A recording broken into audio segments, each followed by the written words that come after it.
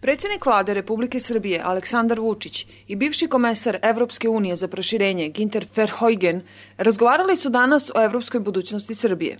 Tokom razgovora Aleksandar Vučić je poručio da će Srbija nastaviti da predano radi na procesu pristupanja Evropskoj uniji i dodao da je vlada Srbije spremna da sprovede veliki broj reformskih mera u tom cilju. Verheugen je naglasio da put ka Evropskoj uniji nije uvek jednostavan, ne samo kada je reč o Srbiji, već i o drugim zemljama koji su prošli kroz taj proces, kao što su Grčka i Rumunija, ali da je važno da se održi postojeći impuls, kao i interesovanje građana Srbije. On je ukazao na to da je važno da Srbija bude na evropskom putu i da postane deo evropske porodice. Premijer Vučić je istakao da bi uprkos postojanju zamora od proširenja, Europska unija trebalo da vidi Srbiju u svojim okvirima kao buduću članicu, koja svojom pozicijom može da doprinese ekonomskoj stabilnosti i prosperitetu čitavog regiona.